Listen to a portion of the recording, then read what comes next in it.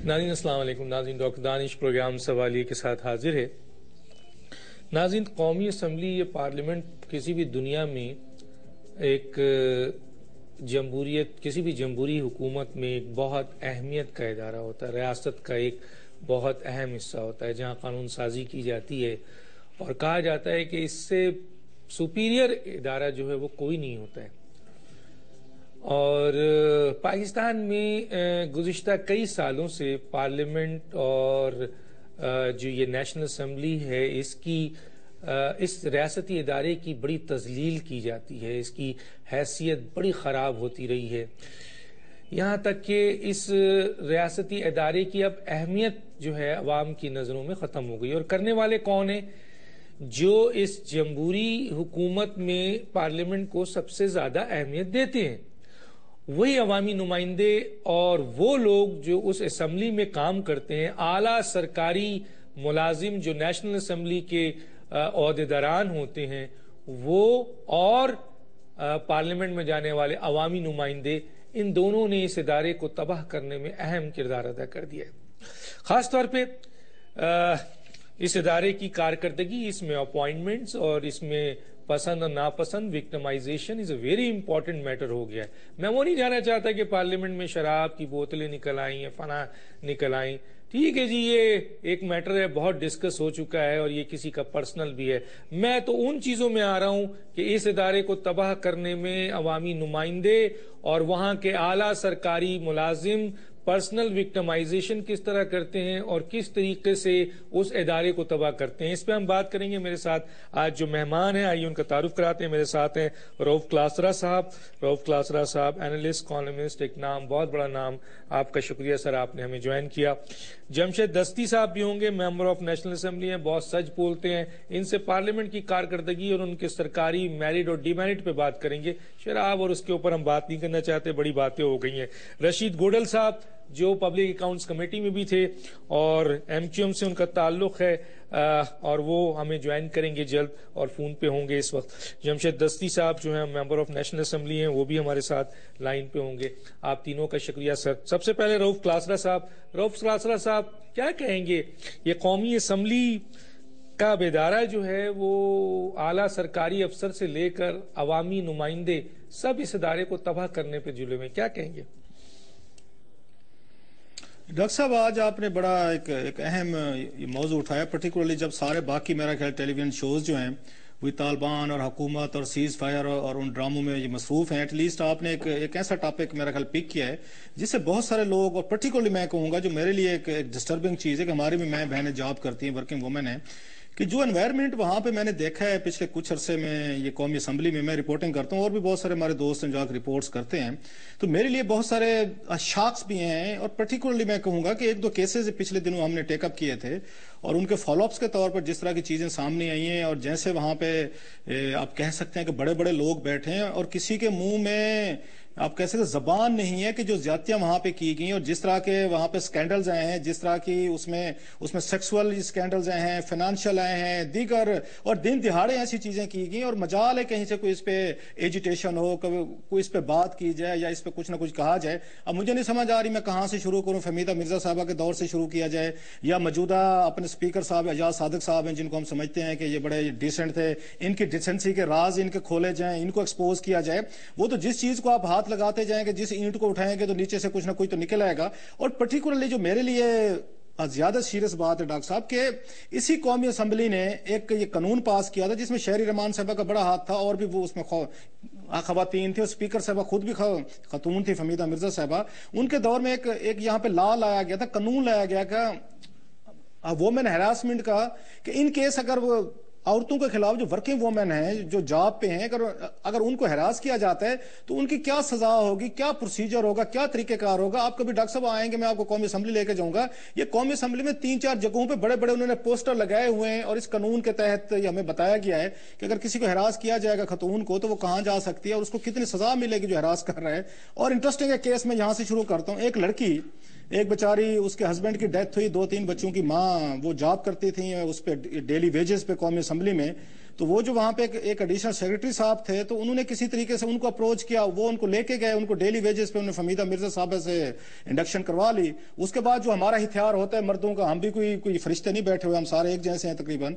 तो उसके बाद उस औरत की उन्होंने एक्सप्लेटेशन शुरू कर दिया और उसको वादा किया जी कि आपका मैं आपकी मुस्तकिल नौकरी करा दूँगी।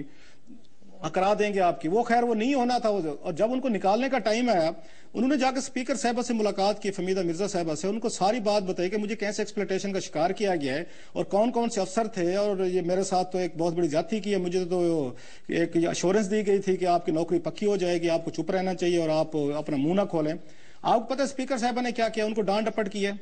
उनके अपने एक आगे से मुलाजिम को लेके आई थी, कहूटा से एक एक एक मुलाजिम थे, पीआरओ थे वहाँ पे शमून हाशमी साहब। वो सत्रह ग्रेड में थे, वो चालीस, बयालीस साल की उम्र में उनको लाई डेपुटेशन पर लाई थी और बीसवें ग्रेड में जॉइंट सेक्रेटरी लगा दी, दुनिया का कम उम्र तरीन जॉइंट सेक्रेटरी है, उसकी बात आगे करेंगे। उन्होंने उनके पास भेज दिया। उन्होंने उनसे डील की, शमून हाशमी साहब ने, और लड़की को कहा कि आप जाएँ और किसी प्रॉपर फोरम पे शिकायत करें। ये तो फोरम ही नहीं है।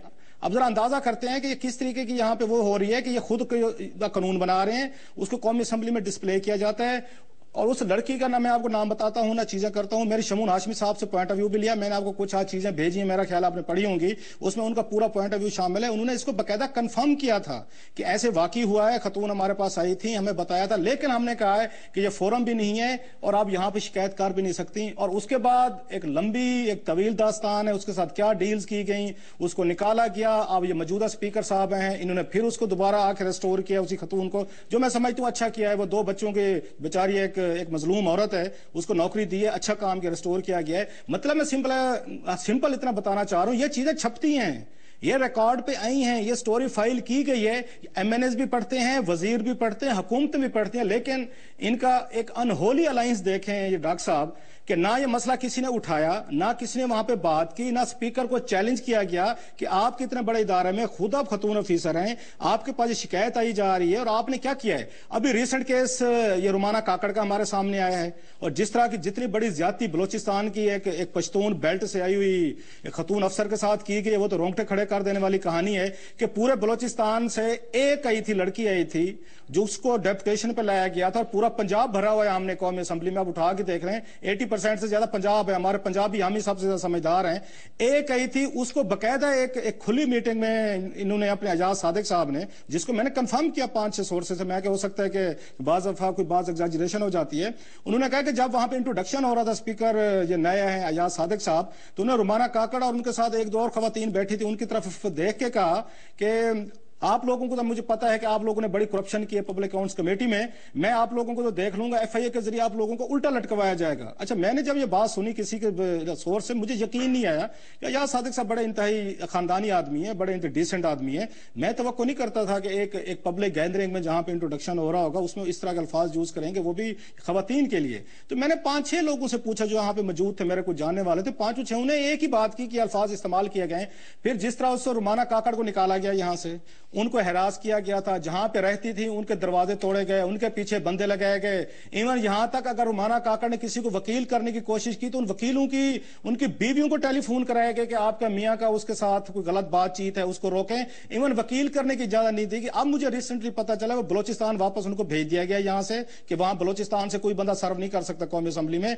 वहाँ पर इंटेलिजेंस एजेंसीज के बंदे उसके पीछे लगा दिए गए कि दफ्तर से निकले, घर तक जाए, इसके पीछे जाना है, इसकी गाड़ी को ठूटे मारने हैं और इसकी गाड़ी को जाके अपने पत्थर मारने ये काम बलोचिस्तान में भी जारी है। ये मेंटेलिटी है डॉक्टर साहब जिसका रोना रो रहे हैं, ये कस्टोडियन ऑफ़ हाउस हैं, ये हमारे पार्लियामेंटेरियन है, ये हमारे स्पीकर हैं, ये उनकी ब्यूरोक्रेसी है जो नीचे से बैठी हुई है और जिसके खिलाफ उन्होंने हेरासमेंट के चार्जेस लगाए थे फमीदा मिर्ज़ा के पास लड़की ने जाके। उसको बकायदा यहाँ पे प्रमोशन भी मिली है, उसको रिटायरमेंट के बाद एक्सटेंशन भी दी है मौजूदा स्पीकर साहब ने। ये यहाँ पे इंसाफ हो रहा है, ये जस्टिस हो रहा है। ये ये आपको tip of the iceberg बताइए, मजीद कहें कि मजीद कहानियाँ भी सुना देंगे आपको आगे प्रोग्राम में डॉक्टर साहब। नहीं, वो तो आपने कहा, लेकिन मैं आपसे भी आगे पूछूँगा, लेकिन इसमें बैठे में मेरे पास रशीद गोडल साहब भी। रशीद गोडल साहब, ये रोमाना काकड़ का उन्होंने बताया है, एक और खातून है जिसका नाम नहीं बताया। उनका ये कहना है कि स्पीकर इस नेशनल असेंबली से लेकर आपके नेशनल असेंबली के आला जो अफसर हैं और इवन के चीफ सेक्रेटरी बलूचिस्तान ये इतना ज़्यादा, क्योंकि मेरे पास इस वक्त देखने में आया पेपर्स कि नदीर अफजल चंद, जो पब्लिक अकाउंट्स कमेटी के थे, उन्होंने बहुत ज़बरदस्त रिमार्क्स दिया है नदी, रुमाना काकड़ के सिलसिले में। उसके बाद जो एलिगेशन है, ये चार्जशीट मेरे पास है। ये एलिगेशन जो है, वो एक अट्ठारह ग्रेड के अफसर के लिए नहीं बनती है। उसके बाद मेरे पास है ये पब्लिक अकाउंट्स कमेटी की सर्टिफिकेट ऑफ़ एप्रिसिएशन ठीक है सर? इसके बाद जनाब, ये अभी रिसेंटली उन्होंने खुर्शीद शाह को लेटर लिखा है, जनाब चुन साहब ने, और क्या लिखा है, मैं थोड़ा सा पढ़ देता हूँ, क्योंकि इतना टाइम होता नहीं है, कि ये जो नाजायज जूनियर अफसरान को मन मानी धमकियाँ देते रहे इनकी सरकारी खिदमात को दागदार कर दिया है, खास तौर पर खातून अफसर को इंक्वायरी के नाम पर हरासा करते हैं। आप तो पब्लिक अकाउंट्स में काम कर चुके रोमाना काकड़ की खिदमत आपने देखी होगी, उस पर यह चार्जशीट लगाया जा रहा है और उसके खिलाफ जैसे उन्होंने कहा है कि उसको मारने की भी कोशिश की गई है, उसको धमकियाँ भी दी जा रही है, उसको एफ़ आई ए से उल्टा लटकाने की भी बात की जा रही है और ये है खातन protection bill and this and that क्या कहेंगे आप? डॉक्टर साहब बात कुछ हद तक सही भी है कुछ हद तक गलत भी है। रुमाना काकड़ साहब एडिशनल सेक्रेटरी मेरा ख्याल वहाँ पे थी उस पीएससी के अंदर डेपुटेशन पे आई थी ठीक है ना? तो वहाँ पे आई थी उन्होंने काम अच्छा किया मिनट्स बाकायदा पब्लिक अकाउंट्स कमेटी की सही बनती थी पहले से मेरे टेक्सटाइल कमेटी के अंदर थी। काम तो अच्छा किया था मतलब एज ए सेक्रेटरी जो इनका काम था मिनट्स देना प्रॉपर मिनट्स बनाना प्रॉपर मिनट्स डिस्पैच करना। और जब पब्लिक अकाउंट्स कमेटी की आखिरी मीटिंग हुई तो डॉक्टर साहब, तमाम पार्टी के लोगों ने अक्रॉस द बोर्ड उन्होंने उस की तारीफ़ भी की इसके बाद ये किस्सा आया सुनने में तो मालूम ये होगा डिपुटेशन में जो आए उनको वापस अपनी अपनी जगह भेजा जाएगा। जब इनके पास पूछा गया तो बोला हमने सबको भेजने अच्छा इसके बाद ये केस की अखबारों में खबरें सुनी, मीडिया पे एक दो बार टिके सुने। फिर पूछा सेक्रेटरी साहब से उधर तो उन्होंने कहा नहीं जितने वहाँ से आए हुए ना तो उनको वापस भेजा जाएगा। चाहे वो सिंध से आए हो चाहे बलूचिस्तान से आए हो चाहे के से आए हो। तो बात मेरे लिए तो खत्म हो जाती है कि चलो rule across the board rule है तो मैं कौन होता हूँ उसको बोलने के एक है तो लेकिन जब रूफ क्लासेस आप सुना रहे वो तो दूसरी स्टोरी उस पर तो इन्वेस्टिगेशन होनी चाहिए। अगर इसमें सच्चाई है तो इन्वेस्टिगेशन होनी चाहिए इस पर अच्छा। जी दस्ती साहब मेरी आवाज़ आ रही है? जी डॉक्टर साहब आपने पार्लियामेंट के अंदर जो खुराफात हुई, जो कुछ भी हुआ, उसका एक अपना पूरी दुनिया में उसका शोर है, उसके ऊपर आपको भी बुलाया गया, मैं उस पर नहीं पूछूँगा। मैं पार्लियामेंट के इस किरदार के ऊपर आ रहा हूँ कि स्पीकर के ऊपर अभी जो रऊफ क्लासरा ने कहा है कि उनका अंदाज उस सेक्रेटरी नेशनल असेंबली जो है वो और दूसरे जो पब्लिक अकाउंट्स कमेटी ये सारे जो खातन और ये क्या हो रहा है? ये पार्लियामेंट को किस तरफ़ ले जा रहे हैं? ये इदारा तबाह हो रहा है? क्या कहेंगे आप? डॉक्टर साहब यकीन बड़ा अफसोस है, ये भी हम तो नए लोग गए थे, देख रहे सिस्टम को। कोई सच्ची बात करता है तो उसको पहले तनकीद का निशाना बन जाता है, उसे किसी एजेंसी का अलाकार कहा जाता है, कभी तरबान कहा जाता है। अब कौन सच्ची बात कहेगा? कोई पूछने वाला है यकीन तौर पर एक शर्मनाक फेल हो रहे हैं और कोई शख्स ज़रूरत नहीं करता, पता सबको है। कोई नहीं बोलता, जब कोई बोलता है तो उसके साथ ही होता है जो आप दूसरा, तीसरा दिन सुन रहे हो कि जी वो ये हो गया, वो आज़ाद है, उसको किसी ने मुँह नहीं लगाया। कोई नहीं पूछा। ये भी हुआ, एक सीएम ने दो ब्यूरोक्रेट की बीवी से गन पॉइंट पे तलाक लेके शादी की। वो किसी ने आज तक इंक्वायरी की, कोई बोला, कोई आगे चला, कोई नहीं पूछा। ये केक आवे का आवा बिगड़ा हुआ है। इसके लिए कोई या तो कोई अल्लाह ताला कोई ऐसा मौजा दिखा दे या कोई कोई ऐसा कोई इनकलाब है तो मैं तो कुछ नहीं कह, मैं तो जो कुछ मेरे बारे में कहा जा रहा है, पता नहीं क्या, कुछ नहीं कहा, नहीं बख्शा जा रहा पूरे सबको, कभी चोर, कभी डाकू। तो आप बताओ कि कौन सच बोलेगा? किरातरे साहब की बड़ी मेहरबानी है, भाई है मेरे मोहतरा में हम तो इसका एहतराम करते हैं, बल्कि काफ़ी सारी चीज़ें वो तक में हम इनसे सीखते हैं, क्योंकि यहाँ ये पहले बैठे हैं। गुडेल साहब मोहतराम है, इन सारे दोस्तों को काफ़ी चीज़ों का पता है। गबोल साहब ने उसने उसने उसने बात कर दी थी। तो अब क्या करें? कौन इनसे पूछेगा? वज़ीर दाखिला ने असेंबली में कह दिया, कुछ नहीं हुआ। कोई कहता है कुछ ये नहीं हुआ तो आपके सारे अपने धंधे पे लगे हुए हैं और इस मुल्क का अल्लाह हाफिज है। और बाद में कहते हैं जी कौमी सलामती पॉलिसी पे इतने बड़े इशू पे बात हो रही थी तो ये कौन सी साजिश होगी? क्या अल्लाह को जान देनी है? हम तो इन चीज़ों पर कभी सोच ही रखते, कोई साथी या नासिर या किसी साउथ का या किसी एजेंसी का आलाकार बनो, मैं तो वर्कर आदमी हूँ। ताकि आप बेहतर समझते हो, सीनियर हो, देख रहे हो इसका क्या होगा, कौन करेगा? ठीक है। मैं मैं आगे बात करता हूँ आपसे, मैं आगे बात करता हूँ, लेकिन यहाँ एक बात करता चाहता हूँ ऑनियर और ठीक है जो आपने एक चीज़ की निशानदेही की, वो किसी का पर्सनल फेल है पर्सनल फेल को हमें सामने नहीं लाना चाहिए। अगर उन्होंने दो बीवियाँ की या तीन बीवियाँ की बहरल इस पे आपकी अपनी बात है, मेरी अपनी बात है। मैं यहाँ पर, अयाज सादिक साहब, अगर फ़ोन पे आना चाहें लाइव तो बात करें, उन पर बहुत बड़ा एलिगेशन है। और सेक्रेटरी कौमी असम्बली अगर वो लाइन पे आना चाहें बात करना चाहें, हम उनको लेंगे। वो एक्सप्लेनेशन दें, ये क्या विक्टिमाइजेशन हो रही है और किस तरह है। क्योंकि यहाँ हेरसमेंट भी है। इसमें मेडिकल के तौर पर भी बहुत कुछ किया गया है। बड़े डॉक्यूमेंट्स है। और जो एलिगेशन है, वो क्या है, किस तरीके से है। नदीम अफजल चुन, जिन्होंने काम किया और बहुत कुछ उनके पास सीने में भी है, सामने भी है, उन्होंने बातचीत की भी है, या सादिक से भी उनकी बातचीत हुई है, या सादिक साहब ने उनको क्या जवाब दिया है, वो चीज़ें भी बाहर आ चुकी हैं। हम उनको मौका देते हैं कि वो अपने मुँह से बताएँ और उनके एप्रिसिएशन लेटर भी पड़ा हुआ है और खुर्शीद शाह साहब को जो लेटर उन्होंने दिया वो भी पड़ा हुआ है। कि ये जो है बहुत बड़ा जुल्म किया जा रहा है।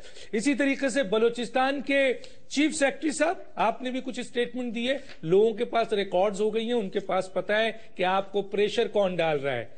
आप अगर आके ऑनियर बात करना चाहें कि प्रेशर कौन डाल रहा है तो वो भी बता दीजिए। एक छोटे से ब्रेक, फिर वापस आते हैं। वेलकम बैक नाजीन नाजीन ये बहुत सारे डॉक्यूमेंट्स हैं मेरे पास। इतना टाइम नहीं है कि मैं किसी वक्त uh, दिखा भी सकता हूँ। बहुत कुछ है। मैं सिर्फ़ इतना जुमला बोलूँगा कि जब एक पूरा इदारा uh, आपकी तारीफ़ में इतने बड़े बड़े लेटर्स लिखता है अप्रिसिएशन देता है आपकी तारीफ़ करता है पूरे मिनट्स बनते हैं मिनट्स ऑफ़ द मीटिंग बनते हैं। और खुद, ये नजीर अफजल चंद की तस्वीर है, देख सकते हैं इनका पूरा मिनट्स है, जो इन्होंने पूरे समरी बनाई है। ये अप्रिसिएशन लेटर है, ये लेटर है, ये वो लेटर है जो खुर्शीद शाह को लिखा गया है। बहुत कुछ है, उसके बाद चार्जशीट देखें तो वो चार्जशीट है जो कि एक डिप्टी सेक्रेटरी या एडिशन सेक्रेटरी का काम नहीं है ये सब डिस्पैच करना और ये इस तरह की चीज़ें करना। आखिर इतनी क्यों जिसकी निशान कर दिया समझते हैं कि ये गलत था तो फिर ये अप्रिसिएशन क्यों है? और चार्जशीट है। तो ये बहुत बड़े सवाल हैं और मैंने तो कहा है कि सेक्रेटरी जो कौमी असम्बली है जिसको एक्सटेंशन मिलती जाती है ये कौन सा रूल है? रऊफ क्लासरा से पूछता हूँ। और दूसरा रऊफ क्लासरा साहब एक लेटर है जो आपने वो पचास करोड़ों वाला वो भी जरा से बताइएगा कि क्या सूरत हाल है इसमें क्या कहेंगे आप? आखिरी सेक्रेटरी इलेक्शन कमीशन सेक्रेटरी कौमी असम्बली को मुसलसल एक्सटेंशन हर आने वाला क्यों दे देता है सर? ये खुशामद मतलब इस मुल्क में डॉक्टर साहब आपने तरक्की लेनी है, प्रमोशन लेनी है, उसके लिए खुशामदी बन जाए। और ये क्योंकि ये रूलिंग हमारी ब्यूरोक्रेसी और पर्टिकुलरली न्याजी साहब जो हैं, करामत हुसैन न्याजी साहब ये तो हर दौर में ये पिछले तीसरा स्पीकर है जिसके साथ गुजारा करके जा रहे हैं। आप मुझे बताएँ, तीन स्पीकर के साथ कौन गुजारा कर सकता है? जब तक आप ये खुशामदी ना हो, हुक्मरानों के हाँ में हाँ ना मिले, उनके कहने पर गलत काम ना करें। एक सौ सोलह भर्तियाँ की हैं इन्होंने ये स्पीकर ये फहमीदा मिर्ज़ा साहबा ने, और इन्होंने ये डॉक्टर करामत न्याजी साहब, इनको डॉक्टरी मैं कहूँगा जो आठवीं दफ़ा आके एक्सटेंशन ले जाए और सुप्रीम कोर्ट के अहकाम के बावजूद ले जाए, कोई डॉक्टर भी कर सकता है। आम आदमी की तो वहाँ पे बस की बात नहीं है। ये लोग सूट करते हैं यहाँ पे रूलिंग लीड को, जो स्पीकर बैठे जैसे कहें, जिस तरह कहें इन्होंने कहीं पे एतराज़ नहीं करना। और और मेरे जराये ने मुझे बताया कि एक इजलास में जब इनकी आठवीं दफ़ा समरी पेश की गई और खुद अपनी समरी बना के पेश करते हैं, क्योंकि सेक्रेटरी हैं इसके कौमी असम्बली के तो किसी मेंबर ने एतराज़ किया कि मोहतरम आप मेहरबानी फरमाए, जरा तशरीफ़ ले जाए, किसी और को मौका दें। उन्होंने कहा, जी, मैं हार्ट का पेशेंट हूँ, अगर मुझे आपने रिलीव कर दिया तो मैं फिर अपना इलाज कैसे करवाऊँगा? इस बुनियाद पे उनको दोबारा सेक्रेटरी रखा गया आठवीं दफ़ा, सर। अभी आप वैसे उनको उनको अप्रूवल दे दें, उनके मेडिकल बिल्स हैं, आप वैसे कंसेशन दे दें, जैसे फमीदा मिर्ज़ा साहब ने ले ली, उन्होंने चालीस लाख रुपए अपने इलाज पे वहाँ पे अमेरिका में खर्च कराया, और फिर जाते जाते ताहयात मरात ले ली, वो भी लंबी लिस्ट है जो उन्होंने अपने लिए अपने लिए भी मरात ली, और मुस्तफ़ा खर साहब से लेके और दूसरे आनवर जितने भी रहे हैं, वो स्पीकर हैं साहबजादा फरूक अली खान सॉरी, उनसे लेके गिलानी साहब, हामिद नासिर चट्ठा, फिर उसके बाद जितने भी ज़िंदा आपके स्पीकर हैं, अमीर हुसैन साहब, सबके लिए मरात वो दे के गई ताहयात इनको भी रहेगी। सो ये तो खुशामद का कल्चर है वहाँ पे। और मोस्टली जो मैंने बताया कि इनकम्पिटेंट इनएफिशिएंट और जो ये रूल्स लॉ को आके गवर्न करने से नफरत करते हूँ अप्लाई नहीं करेंगे, वो इनको सूट करते हैं। मैं मैं जरा रुमाना काकड़ में बात करना चाहूँगा, जो हमारे दोस्त अभी रशीद गुडोल साहब कह रहे थे कि पॉलिसी बनी थी कि जो डेपुटेशन वाले हैं, अगर वापस भेजने तो भेजे फेयर एनफ ठीक बात है। लेकिन इस मामले में जो घपला किया गया, वो बड़ा इंटरेस्टिंग है, डॉक्टर साहब। बट ठीक है डेपुटेशन वालों को वापस जाना चाहिए, मान ली बात कि यहाँ पे शमून हाशमी साहब थे जो मैं आपको केस इन स्टडी बता रहा हूँ कि कैसे यहाँ पे जो हमारा एक पंजाबी माइंड सेट है, वो कैसे ऑपरेट करता है और हम नॉन पंजाबी जो हैं, उनको क्यों एक्सेप्ट करने को तैयार नहीं है? वो के में एक पीआरओ के तौर पर काम कर रहे थे। वो फमीदा मिर्ज़ा साहबा से उनका पुराना कहीं से कोई लिंक निकल आया। उनको उठा के अठारहवें ग्रेड में लाए, वहाँ पे कौमी असम्बली में लाए। डेपुटेशन पे और डॉक्टर साहब, दो सालों में उनको ग्रेड 20 मिला और जाते जाते फमीदा मिर्ज़ा साहबा उनको जम करके गई हैं और जॉइंट सेक्रेटरी लगा के गई हैं। और शमून हाशमी साहब अपने फेसबुक पे लिखते हैं कि मैं दुनिया का कम तरीन वो हूँ जॉइंट सेक्रेटरी हूँ, जो सर्व कर रहा हूँ। ये आपको दो स्टैंडर्ड बता रहा हूँ कि जब बलोचिस्तान की रुमाना काकड़ आएगी, उसको इबरत का निशान बना के वापस भेजा जाएगा। जब पंजाब से शमून हाशमी साहब आएँगे उनको यहाँ पे अठारहवें ग्रेड से लेके बीसवें ग्रेड में जिसके लिए एक बंदे को अट्ठावन साल की उम्र तक, छप्पन साल की उम्र तक जाके आपको मिलता है ग्रेड उसके लिए कोर्सेज करने पड़ते हैं, पढ़ना पड़ता है, इम्तिहान है, सौ लंबी डिटेल है जो करनी पड़ती है। और फमीदा मिर्ज़ा ने उनको किया और वो अपने शमून हाशमी साहब बड़ी फखर से अपने फेसबुक पे, अपनी सेक्टेरियन एफिलिएशन बड़ी उन्होंने लिखी हुई है क्लियर कि मेरा फलां फिके से फलां चीज़ से तल्लुक है and I proud of it एक ऐसा मुल्क जहाँ पे सेक्टेरियन वायलेंस है, जहाँ पे खौफनाक किस्म की डिवीज़न है, आप डिस्करेज करते हैं, एक कौमी असम्बली का रिस्पेक्टेबल इतनी बड़ी पोजीशन का फीसर अगर अपने फेसबुक पे ये बातें लिखेगा कि मुझे फलां सेक्ट से मेरा ये तल्लुक है और मैं बड़ा प्राउड हूँ, वो चाहे मैं लिखूं, कोई और लिखे, जो गलत काम है इस तरह नहीं करना चाहिए, अगर आपके एफिलिएशन है, वो सबकी होती होंगी तो नहीं होनी चाहिए थी, एक चीज़। बाकी मैंने कहा, आपने कहा कि ये एटीट्यूड क्यों है इस तरह का? ये मेरा ख्याल है, जब से नवाज़ शरीफ साहब की हुकूमत है हमें तो परेशान नहीं होना चाहिए। मैंने रुमाना को भी एक दफ़ा कहा था, मैं कि आप बीबी काम करें, अपना नाम रुमाना काकड़ की बजाय रुमाना बट लिख लें। आपको कोई निकालेगा भी नहीं, आपको यहाँ से भेजा भी नहीं जाएगा, बकायदा कोई अच्छी पोजीशन मिलेगी। ये हमारा हमारा लाहौरी शैवनिज्म एक माइंड सेट बन गया है। पंजाब असम्बली लाहौर में है, सर। उसमें खातन की साठ सीटें हैं। आप किसी और डॉक्टर साहब चले जाएँ जरा, उसकी उसकी वेबसाइट पे चले जाएँ इलेक्शन कमीशन की, आप ये देखें जो साठ खातन है लाहौर में, जो स्पेशल सीट की, जो पंजाब असम्बली के पूरे ज़िले में वहाँ तकसीम होनी चाहिए थर्टी सिक्स उसमें से चौंतीस खातन लाहौर शहर की हैं। आई एम रिपीटिंग, चौंतीस खातन साठ में से सिर्फ़ एक लाहौर की हैं। बाकी आप अपनी फेडरल कैबिनेट को देख लें उसमें से किस किस बिरादरी का किस किसमें शेयर है। ये पचास करोड़ वाली भी तो आपने पचास करोड़ सर आपने पब्लिक अकाउंट्स कमेटी पचास करोड़ और अख्तर बुलंद राना का भी ज़िक्र किया है। सर क्या है सर ये?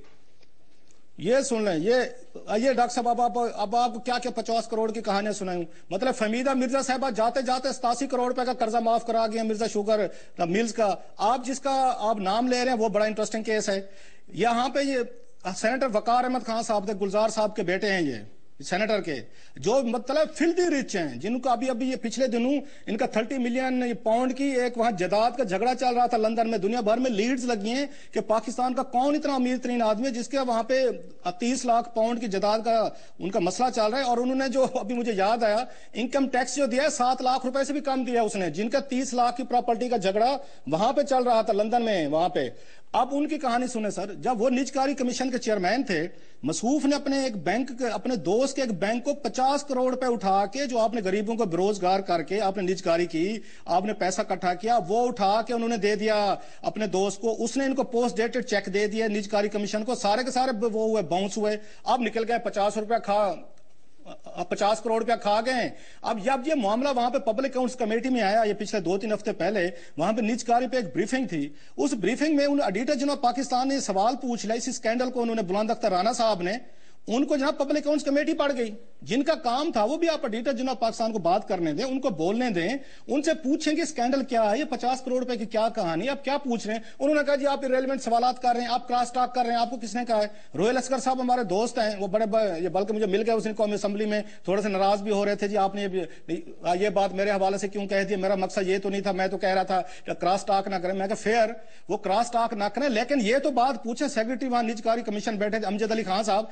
कि हजूर अनवर पचास पचास करोड़ रुपए का टीका लगाया है यहाँ पे वकार अहमद खान सेनेटर ने, और आप वहाँ पे सेक्रेटरी बैठे हैं, आप लोगों ने क्या प्रोसीडिंग की है? उनका नाम ईसीएल पे डाला है, कुछ उनको गिरफ़्तार किया है, या आपने नहीं किया? चुप, खामोशी, और पब्लिक अकाउंट्स कमेटी ने कुछ इसमें इंटरेस्ट नहीं दिखाई। इससे पहले का मुझे केस याद आ रहा है सर यहाँ पे हमायूं अख्तर साहब का, ये चौधरी निसार अली खान साहब उस वक्त, ये थे चेयरमैन पब्लिक अकाउंट्स कमेटी थे। उसमें हमायूं अख्तर साहब पे एक ऑडिट पैरा आ गया कि मसूफ जब यहाँ पे ये वज़ीर तिजारत थे, उन्होंने एक्सपोर्ट डेवलपमेंट फंड से लाख रुपए के टेलीफोन के सेट लिए। उनसे लाख रुपए के उन्होंने बैरून मुल्क, उन्होंने टेलीफोन कॉल की थी, जो कि आपकी एक्सपोर्ट प्रमोशन का फंड था। जो ताजरों से टैक्स लेते सनतकारों से, उन्हीं का पैसा होता है। जब ऑडिट पैरा बन गया यासमीन रहमान साहबा मुझे बड़ी अच्छी तरह याद और बड़ी अच्छी पार्लियामेंटेरियन थी वो। यासमीन रहमान साहब पढ़ के आती थी, मेहनत करती थी, अच्छी मेंबर थी पीएससी की।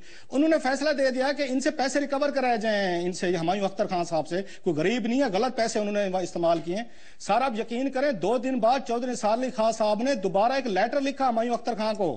कि जनाब मेरी कमेटी को गलत फहमी हुई है ये बड़े बेवकूफ़ लोग हैं मैं अब आ गया हूँ मैंने रिव्यू किया है आपका कोई कसूर नहीं आपको कोई पैसे देने की ज़रूरत नहीं है। जरा सियासतदानों का रोल देख लें कि कैसे जमशेद दस्ती साहब से पूछ लेता हूँ। जमशेद दस्ती साहब ये ये पार्लियामेंट के जो स्पीकर होते हैं ये बहुत बड़ी चीज़ होते हैं कस्टोडियन होते हैं एक बहुत बड़े इदारे के। अब फहमीदा मिर्ज़ा सतासी करोड़ रुपए का जो लोन माफ़ करा के जा रही है मिर्ज़ा आ, शुगर मिल्स का। अयाज सादिक साहब एक बहुत रेपुटेबल नाम है बड़ा रिस्पेक्टेबल इंसान है बड़े अच्छे इंसान है उसके बारे में अभी देखा आपने कि रऊफ क्लासरा साहब ने पूरा और ये रोमाना ककड़ और ये धमकी और ये और इन्वॉल्वमेंट क्या बात है पता नहीं भाई। तीसरी चीज़ जो है वो ये है कि जनाब गीलानी साहब, उन्होंने भी अपने दौर में जो काम किया, बल्कि उनको तो जेल भी जाना पड़ा। तो क्या कहेंगे, ये कस्टोडियन का ये हाल है, क्या कहेंगे? अब आप देख रहे हैं कि जहाँ कहते हैं कि जमहूरियत के खिलाफ साजिश हो रही है। जमहूरियत के खिलाफ ये हो रहा है। जमहूरियत के खिलाफ एक बड़ा बुरा प्रापगंडा। अब ये जमहूरी लोग ही जमहूरियत को जिबा कर रहे हैं और इनका नाम ही नहीं है। ये तो आपको मैं सलाम पेश करता हूँ कलासरे साहब को। कि आपकी ज़रूरत को सलाम है कि एक सात सौ परस्त एक माफिया बैठा है जो हर तरह का हमें जिबा करे, हर तरह से, हर रोज़गार के हवाले से, अमन अमान के हवाले से। और एक लूट खसूट का बाज़ार गर्म, और एक चेयरमैन नैब को मुख्य मका पे लगाया गया है। इस चेयरमैन नैब के अपने दौर में करप्शन हुई है और मेरे इलाके में ढाई मुरबे रकबा इस चेयरमैन नैब का। जिसको सिर्फ़ इसलिए लगाया गया ताकि हमारी करप्शन को क्लियर कर, हमें पास, साफ़ कर अगर कोई उठे। तो यकीन देखो ना मोहतरमा साहबा खुद भी तकलीफ़ में रही है। अल्लाह तला दुनिया पे इनको भी पकड़ता है। और अफसोस है, इस सेक्रेटरी साहब का पॉइंट मैंने भी उठाया था।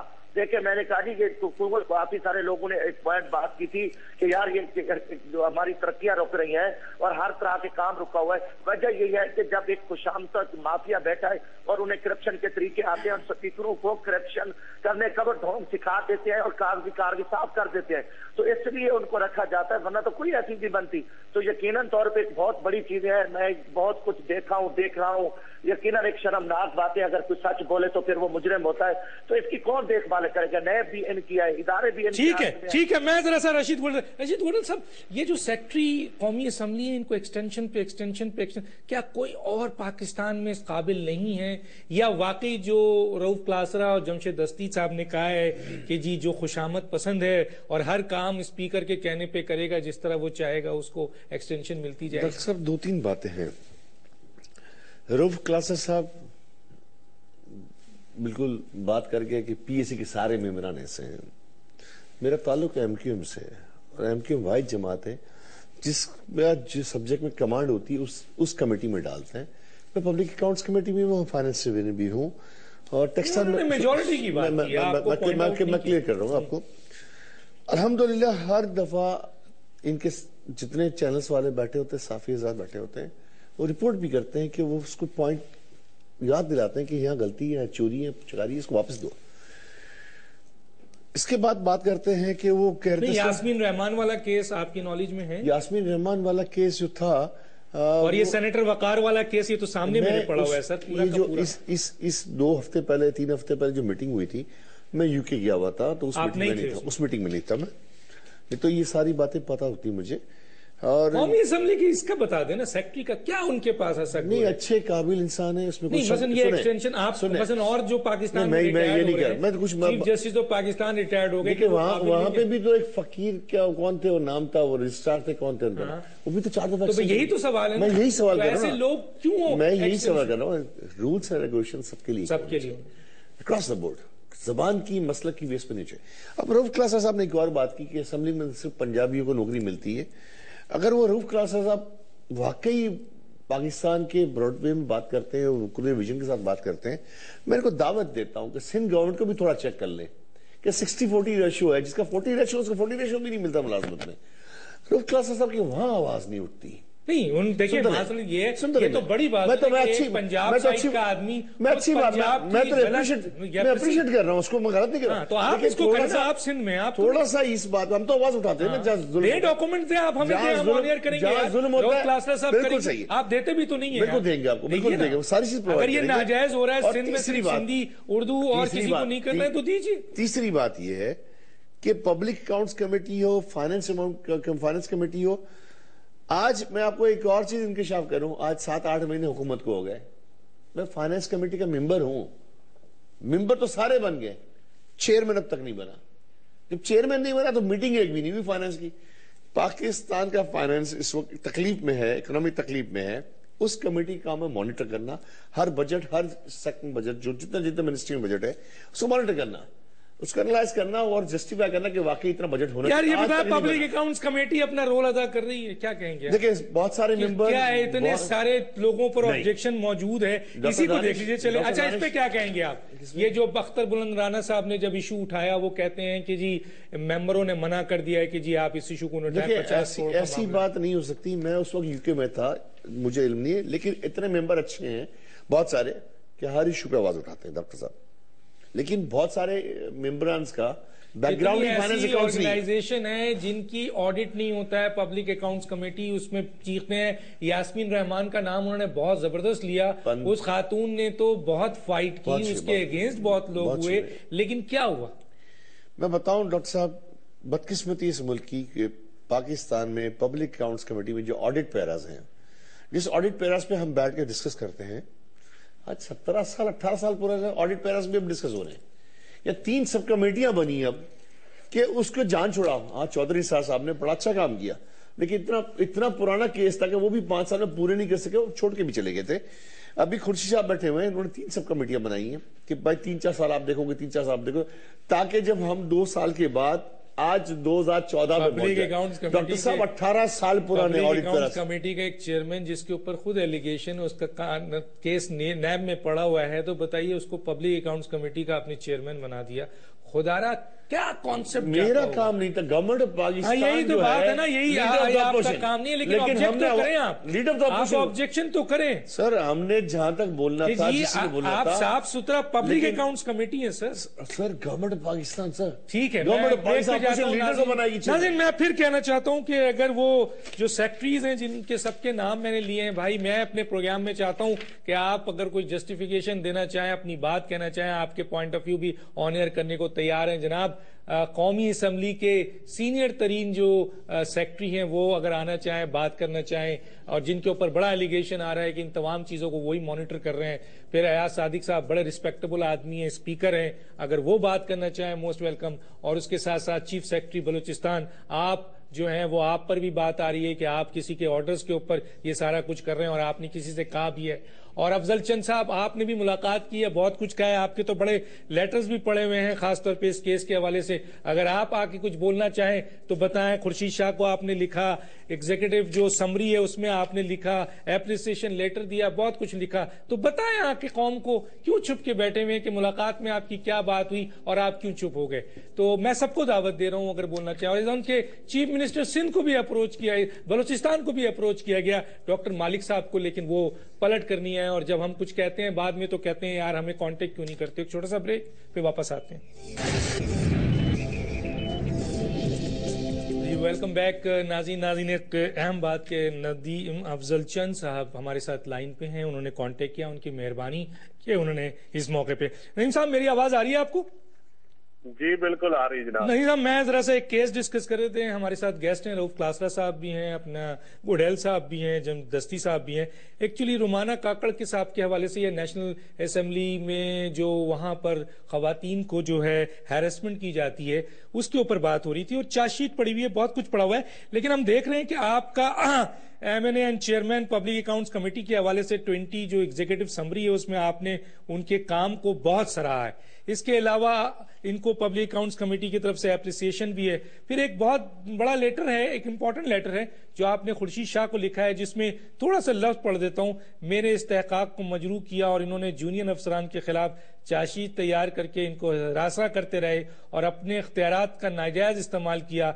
जूनियर अफसरान को मनमानी धमकियाँ देते रहे। इनकी सरकारी खिदमत को दागदार कर दिया। खास तौर खातून ऑफिसर को इंक्वायरी के नाम पर हरासा करते रहे। और बहुत कुछ है। क्या कहेंगे इसके ऊपर आप? डॉक्टर साहब, ये कसूर तो मेरे ही है क्योंकि मैं पीएससी में था। जब मैं चेयरमैन बना तो मेरे पास थर्टी फोर का स्टाफ था। और अनफॉर्चुनेटली बदकिस्मती है इस मुल्क की कि कोई बंदा काम करने के लिए तैयार था, मैंने करप्ट लोगों से वहाँ से निकालना पंजाबी माफिया है हमारी असेंबली में, जो करप्ट भी है वोमनाइजर भी है और सारी खूबियाँ उसमें है। उस करप्ट माफिया के खिलाफ मैंने लिखा, जिसमें नेक्स्ट सेक्रेटरी नेशनल असेंबली है, उसके खिलाफ मैंने उस वक्त की मैडम स्पीकर को लिखा इन राइटिंग वो चाहता था कि अपने प्लाट की इंक्वायरी और बहुत सारे मामला जिसमें मॉनिटाइजेशन कार के ऊपर भी उसका लेटर मैंने उसके खिलाफ लिखा। फिर एक कमर सोहेल लोधी एडिशनल सेक्रेटरी हमारे दौर में एडप्ट हुआ। उसके खिलाफ मैंने पूरा एक लेटर लिखा उसके खिलाफ चार्जशीट पूरी पीएचडी की कमेटी ने, सरदार रियाज सादिक साहब ने मुझे राइटिंग लेटर लिखा कि स्टाफ कामन नहीं करता। मैंने उनके लेटर के बिहार पे मैडम स्पीकर को लेटर लिखा। लेकिन हमारा दौर तो खत्म हो गया। वो सारा नजला मेरा, मैं तो क्योंकि सियासी बंदा था, मेरा तो कर कुछ नहीं सकते थे। उन्होंने तो हमारे स्टाफ जिस स्टाफ की पूरी पूरी पीएसी ने तारीफ़ की है। जिस स्टाफ को एप्रिसिएशन लेटर पूरी पब्लिक अकाउंट कमेटी ने दी है। और मैं ओन करता हूँ, मैं कहता हूँ कि मेरे स्टाफ में से अगर किसी ने एक पैसे की भी करप्शन की है तो इट्स मीन के नदीम अफजल चाँद ने की है। और मैं उसका खुद जिम्मेदार हूँ, मैं ओन करता हूँ। लेकिन जो लोग ईमानदारी से जिन्होंने काम किया, बदकिस्मती ये है उनमें एक सुपरडेंट आसफ था, सलामत था, ये मैडम थी, क्योंकि इनका तल्लक, क्योंकि बलोचिस्तान से, या छोटे सूबों से था, और हमारी हुकूमत भी नहीं थी। तो अब मैं उनके खिलाफ इंक्वायरियाँ की गई, और एक पूरी हरारती होती है। वो रिपोर्ट जिसको मेट किया आडिट ने, जिसको प्रिंटिंग के लिए लेजिस्लेशन ब्राउज से प्रूफ रीडिंग हुई एडिशनल सेक्रेटरी के साइन सेक्रेटरी के साइन सेक्रेटरी ने फिर पूरी कमेटी ने अप्रूव की और सारे मेम्बरान को पढ़ने के लिए दी भाई अगर किसी ने गलती की है तो होता है एक आदत पैरा को मिस होता है तो कार्य इशू हो जाता है लेकिन अगर करप्शन किया है तो फिर पूरी हरारकी में आप तीन अफसरों को चूज़ तो नहीं कर सकते ना फिर जिन्होंने साइन किए हैं जिन्होंने पढ़ी है जिन्होंने हाउस में ले की है फिर वो सारे जिम्मेदार है और बाकी असेंबली में डॉक्टर साहब इससे पहले भी लड़कियों के साथ जो कुछ होता रहा है वो अब इसके ऊपर एक अलहदा प्रोग्राम कर ले इतना टाइम तो नहीं होगा लेकिन ये हकीकत है कि नेशनल असेंबली में कोई औरत काम नहीं कर सकती बाइज्जत तरीके से। ठीक है। छोटे सूबे से तल्लक हो वो बिल्कुल नहीं कर सकती। रऊफ साहब क्या कहेंगे? चंद साहब ने तो बहुत कुछ आपके सामने रख दिया है। क्या कहेंगे आप? और आपकी बात की तारीफ़ कर दी उन्होंने। चंद साहब की एक बड़ी और बड़ी चंद साहब की क्वालिटी है कि खुल के बोलते हैं। ये अपनी पार्टी में भी मुझे याद है बड़े अनपॉपुलर थे। स्टैंड इनका हमेशा क्लियर बात करते हैं डट के करते हैं। एक तो मेरा ख्याल चाँद साहब हमें यह भी बताया कि इनकी स्पीकर साहबा क्यों एक्शन नहीं लेती थी इनकी इनकी दरखास्त पे, जैसे इन्होंने लिखा कई दफ़ा इशू को रेज किया। और दूसरा, क्या ये बात सच है कि ये अयाज सादिक साहब नाराज़ हैं इतने रुमाना काकड़ से या कुछ और लोगों से कि नेस्पाक के कुछ ऑडिट पैरे थे जिसमें मसूफ ने बहुत कुछ इरेगुलरिटीज कराने की कोशिश की थी और बकायदा नेस्पाक के जो हेड को हटाया गया उसने अदालत में जाकर बताया कि अयाज सादक साहब ने मेरे ऊपर दबाव डाला था कि ये कुछ लोगों की यहाँ पे प्रमोशन करवाना चाहते थे इलीगली जो जिस पे मैंने इनकार किया और इन्होंने आठ पैरों के बाद जो उसके मिनट्स बने, उनको आके मेनूवर